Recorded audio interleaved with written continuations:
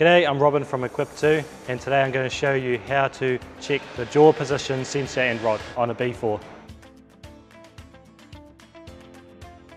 So you'll find the jaw position sensor below the main hydraulic control bank on top of the jaw. Um, it's underneath a cover, so we can just remove this cover first.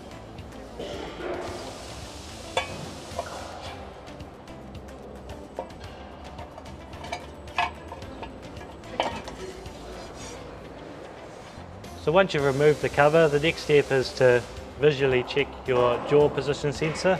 That is the orange sensor on the bottom. Also, the jaw position sensor is used with a rod. The rod is can seize up, so making sure that there is free play in the rod and making sure that the rod is also not bent. So the best way to check the jaw position rod is to do a jaw reset. You can find this process in our other videos and while the jaw reset is being done you want to visually check the rod is moving freely.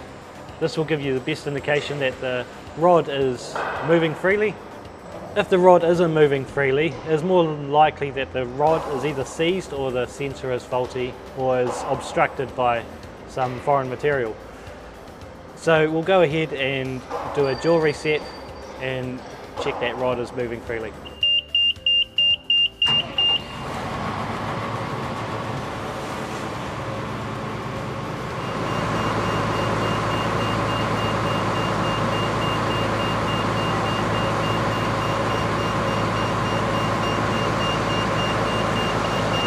So now that we can see that the rod has been moving freely, that is okay. If the rod is not moving freely, it will need to be removed and replaced and repaired.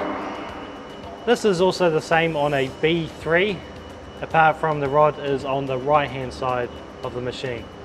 So that's how you check the rod and the jaw position sensor on a B3 and a B4 jaw crusher. If there's any more information you'd like, please give us a call at Equip2 or go on our website and have a look at other videos.